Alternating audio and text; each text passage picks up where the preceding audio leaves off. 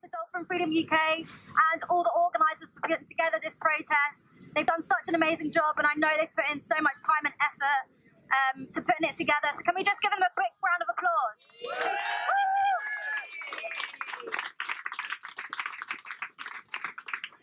And secondly, I just want to say thank you all for coming today. Um, it's so promising to see so many people here. Um, we're the ones who can put an end to this industry, and it means so much to see every single one of you supporting this issue. So, for those who don't know me, uh, my name's Molly. I'm a volunteer for Ric O'Barry's Dolphin Project, and last season I spent two months in Taiji, Japan, documenting the dolphin captures and slaughters that go on there. I'll come back to that a bit, little bit later, but first of all, I just want to fill you in a bit about my journey and how I got to being a whale and dolphin advocate today. So, as a kid, I was obsessed with dolphins. Um, my family used to take me and my brother to Florida every summer, and we'd visit all the theme parks. And unfortunately, that would involve going to SeaWorld. And at the time, I had no idea that these animals were living such a horrible life um, I was completely deceived by the false advertising and their marketing and their seemingly educational message. I felt I'd fallen for it, as many people do.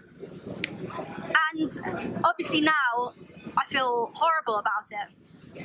But for my 10th birthday, we actually went swimming with dolphins at Discovery Cove, which is um, a park owned by SeaWorld.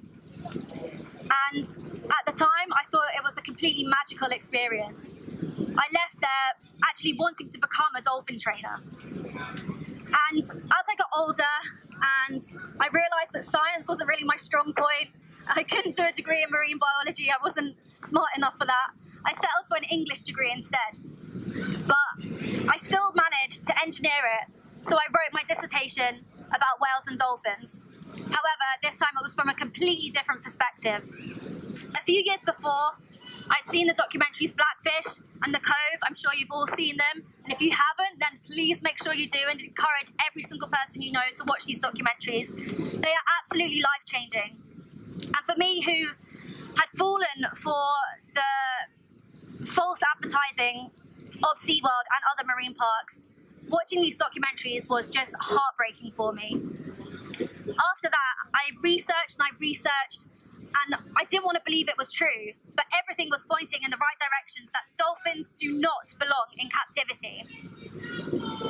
And so when I was researching for my dissertation, I came across an event um, just on the San Juan Islands off of Washington State in the US uh, called Superpod, where whale and dolphin advocates all get together, marine biologists, filmmakers, um, everyone who loves whales and dolphins. It's open to the public they get together for a week long conference.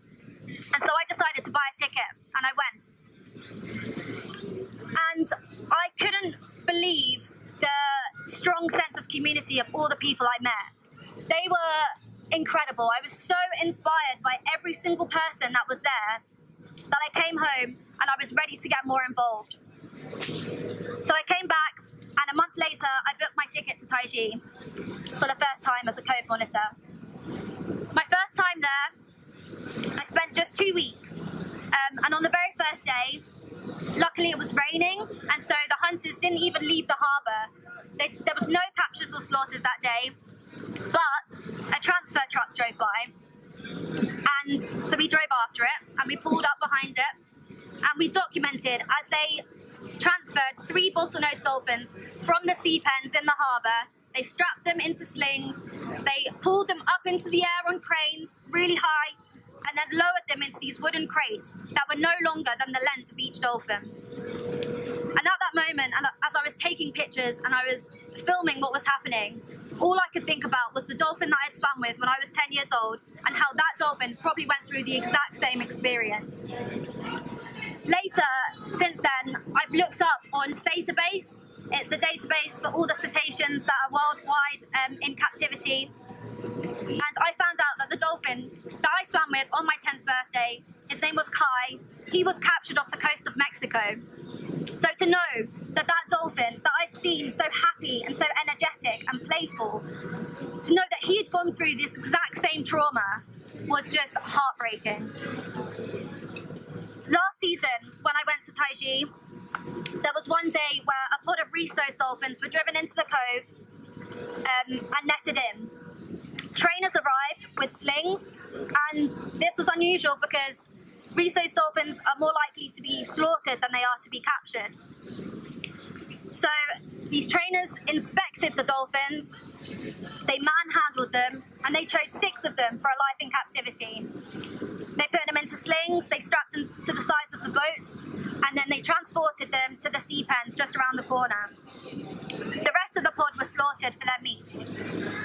And what really hit home for me at that point was the fact that the trainers decided which dolphins were to live and which dolphins were to die. Well, I say live, they don't live in captivity anyway, that, that is not a life for them. But these trainers who claim to love them, they claim to care for them so much, and then they choose which ones can live and which ones can die. It's just awful. And it's at that moment when you realise it's all about the profit that they're making. It's nothing to do with their, their regard for their welfare at all.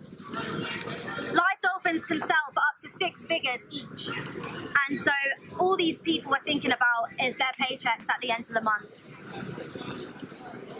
So what can we do? And this is why it's so important that all of us are here today to support this cause and to draw attention to this issue. However, from my experience, and obviously from being someone who was completely unaware and who whose mind was changed, my life was changed, and I've done everything I possibly can to try and rectify that since. Um, it's been difficult for me talking to people about it because sometimes I do get quite passionate, I do get quite angry, and sometimes that's not always the best approach to take. Um, heated discussions turn into arguments and people get defensive and they don't listen. So what I've learned is to approach people in a much more calm, composed way, deliver the facts as they are, they, they stand on their own, we can't argue with the truth. And we just need to be understanding of these people. If someone had turned to me just after holiday when I was 10 years old, after swimming with dolphins, and pointed at my face and told me I was wrong for swimming with dolphins, I would have got very offended probably and quite defensive and tried to justify my actions. Um, and so I think that's why some people, when they're told they're wrong for swimming with dolphins, that they, they get all defensive and um, and it turns into an argument. So that's why if I had any advice for you to take away with you today, it would be to just remember, remember that. Remember to be calm, be composed, be informative, be understanding, and most importantly, be compassionate. We're all here because we love whales and dolphins. We want to do what's right by them. So we need to keep up the fight. And we're already making such a difference. This week, Mexico have banned dolphinariums, and last week, Barcelona did the same. And just a few months ago, South Korea banned the import of dolphins from Taiji. We are making the right steps in the right direction. We just need to continue the fight. So please, please shout loud and proud today because I'm confident that one day we will empty the tanks. Thank you.